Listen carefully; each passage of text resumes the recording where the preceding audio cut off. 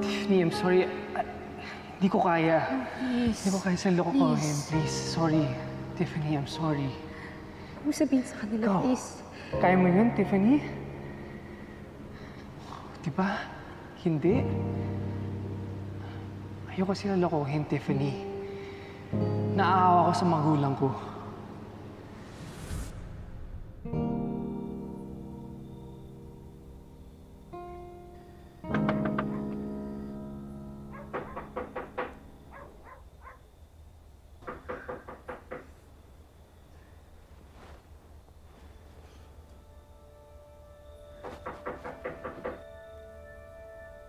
Coming po.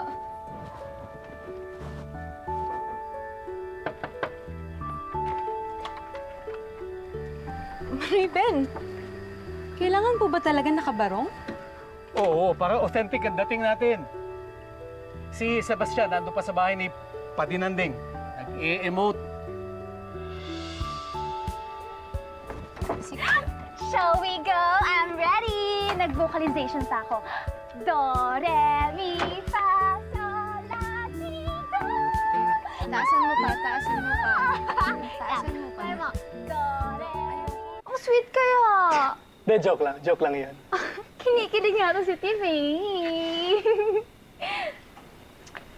ah, alam mo, Manoy Buen, let's go na. Kasi palta mo na yung damit mo, nakakatakot kapag madilim. Let's go, Tiff,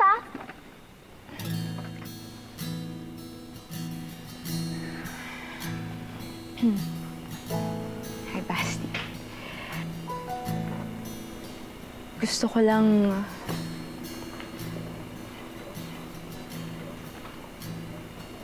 Gusto ko lang humingi ng sorry sa'yo. Sorry? Tiff, saan? Hindi ba dapat ako magsasorry sa'yo? Dahil nasira ko ang mga pangarap mo? Di, Basti. Alam mo, tama ka naman eh. Sinusubukan ko makamit yung pangarap ko sa maling paraan. And tama ka. If gusto ko makamit yung pangarap ko, dapat sa tamang way. Pero Tiff, paano na yung project mo? Hayaan mo na yun. Kami nang bahala dun. We will just start from scratch. Pero Tiff, tutulungan ko lang kayo. Gusto ko kasi ma-reach mo yung mga dreams mo. Basti okay na yun. Maghahanap na lang kami ng ibang beach or ibang place. Good night, Basti. Tiff,